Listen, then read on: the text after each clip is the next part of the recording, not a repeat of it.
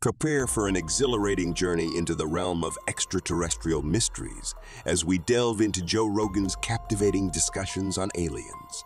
From probing conversations with a former CIA agent to mind blowing UFO news reviews, we'll unravel the enigmatic universe alongside Rogan. Brace yourself for an electrifying exploration that will challenge your perceptions and ignite a quest for cosmic truths. Welcome to the thrilling world of Joe Rogan's Alien Encounters.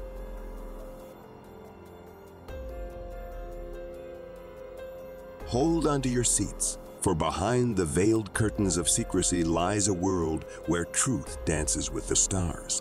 The enigmatic realm of UFOs beckons, and within it, the agency's clandestine mandate to shield sources and methods from prying eyes.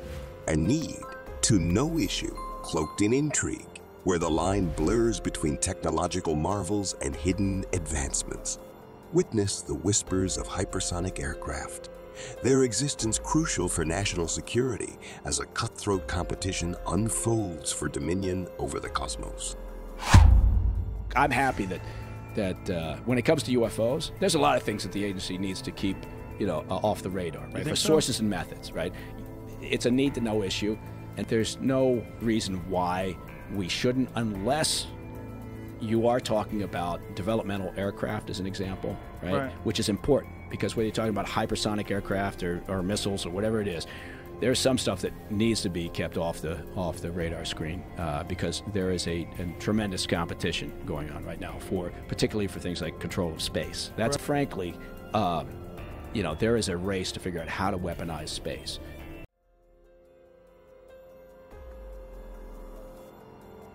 In the realm of infinite possibilities, a tantalizing question emerges. What if beings from beyond our wildest imaginations descend upon us, bearing gifts of unimaginable technology?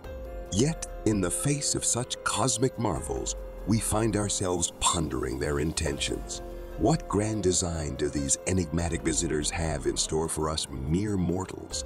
The mystery unravels, leaving us to wonder what extraordinary purpose lies behind their celestial voyage to our humble abode. I think it's a, it's a high possibility that uh, that that there's yes, I, I, I, do think that, but at the same time, then I also question uh, sort of the the way that that's great. If, if some alien life force with amazing technology that we can't even fathom right now comes to visit us, then what the hell are they doing?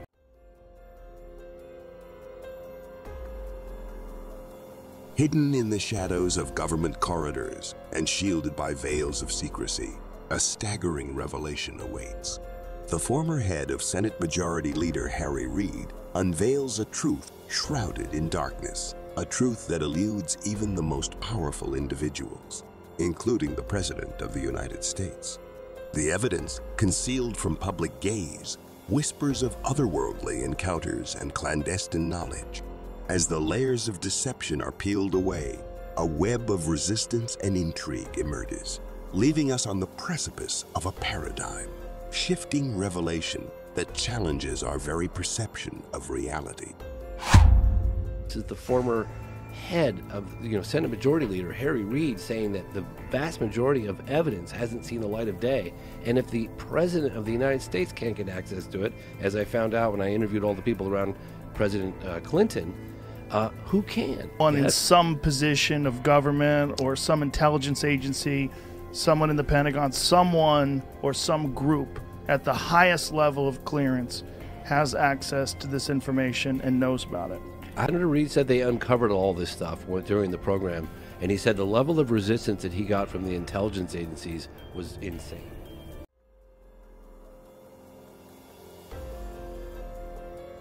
In a whirlwind of astounding revelations, the veil of secrecy begins to unravel, exposing breathtaking encounters that defy comprehension.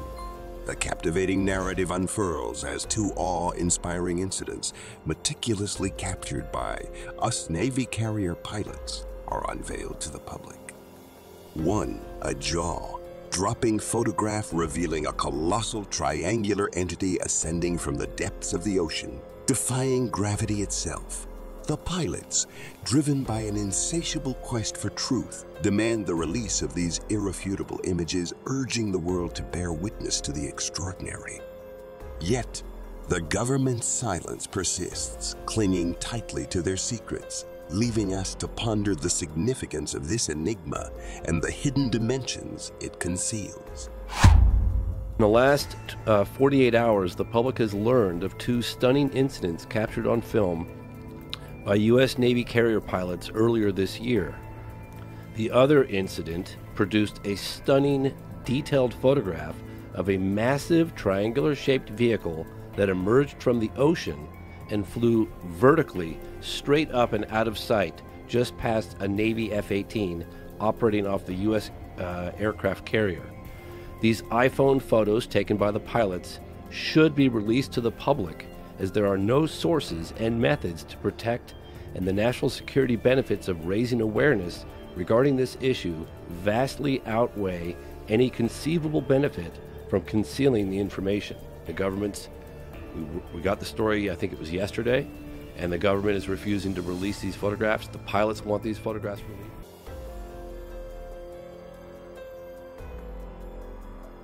In a chilling encounter under the twilight sky, a family's peaceful evening in Yonkers takes an extraordinary turn. As the cries for attention pierce the air, a skeptical father emerges to witness a sight that defies all logic. A flying saucer, bathed in a mysterious blue aura, hovers within reach. Portals reveal secrets within, but silence reigns supreme. Time itself warps and bends, heightening the sense of unease. The father contemplates the unthinkable, to shoot or not to shoot, for fear of telepathic intrusion. Moments pass, perceptions shift, and in the blink of an eye, the otherworldly craft transforms into a distant star, the memory forever etched in his mind, echoing through the ages, a testament to an inexplicable encounter that defies explanation. Tell me the UFO story. 73, my mother is pregnant with my older brother Christian. Uh, he's five years older than me. Okay, so uh, she's pregnant with him. They're outside in Yonkers. There's a little grass lot. And my aunt, grandmother, and mother are out there and they're screaming, Tommy, you got to come out here. You got to come out here. So the way my father tells the story, he goes, I'm watching TV. You know, I don't want, to be bothered. Because I go outside and he said, Paul, he said, sitting where I could throw a rock or shoot my gun at it. There is. And the way he, he, he said flying saucer, which hilarious. He goes, flying saucer. He said it's got a blue tint around it. Little portholes, but you could barely see. Quiet. Quiet as can be and he said they were all and he said the time was weird the time of night was weird it was like that weird time where the sun's going down you don't know he said the timing of it was weird and he said his time perception during it was was very something was off with the time and he said he thought he said shoot my gun at this thing but then he goes he goes then i freaked out because i don't know if this thing's reading my mind so i went inside because he thought that it might have been so he went inside, he looked again, he went outside. They looked at it, they were stunned, and he said, and like that, it turned into a dot in the sky. Uh, he said, like that, it turned into a star, like that. And he says, to this day, exactly the same.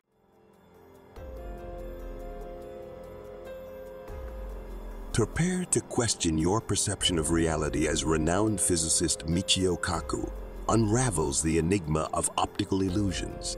Imagine an object gracefully gliding before your eyes, seemingly at mind-boggling speeds, only to discover it's a mere weather balloon. But here's the twist. Wind patterns hold the key. These mysterious sightings defy the very laws of nature as they boldly venture against the direction of the wind. These are no ordinary weather balloons fused with imagination. These are anomalous objects challenging our understanding of the universe. Now, if they are a optical illusion, um, if an object were to move in front of your eyes, traveling at a very slow velocity, but you don't know how far they are away, you may think that object is very far away from you, traveling at enormous velocities. So a weather balloon drifting in front of your eyes can simulate an object traveling at hypersonic velocities if you think that weather balloon is far away from you. Hmm. So how do you tell the difference? Well, you look at wind patterns. It turns out that many of these sightings, these objects, defy the direction of the wind. If they are weather balloons that you confuse with a flying saucer, uh, then they would be moving with the direction of the wind. But these objects do not do that. These objects can go against the direction of the wind.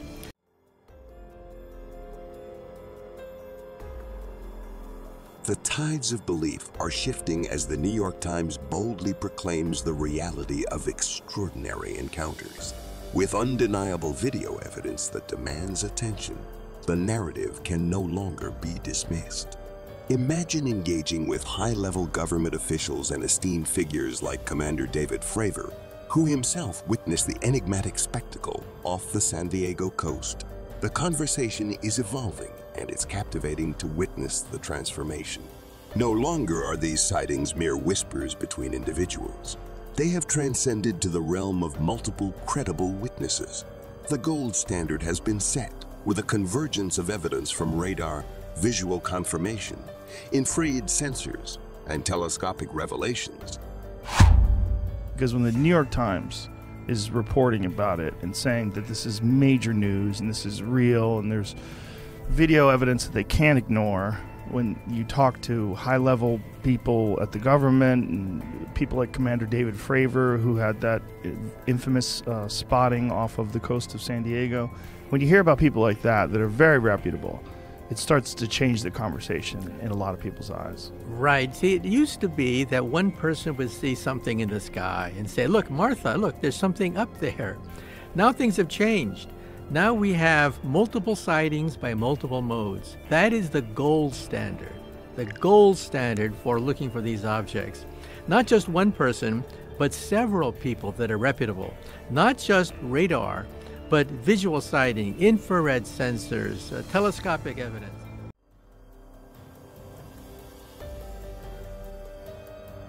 What were once mysterious objects in the sky are now revealing their secrets. Brace yourself for the revelation. These awe-inspiring phenomena may be drones of unparalleled capabilities. Imagine the sheer audacity as they plunge an astonishing 70,000 feet in mere seconds, defying the laws of physics as we know them. But wait, it gets even more astonishing. These enigmatic entities possess the power to descend into the depths of the ocean, defying our preconceptions of their nature. And here's the kicker.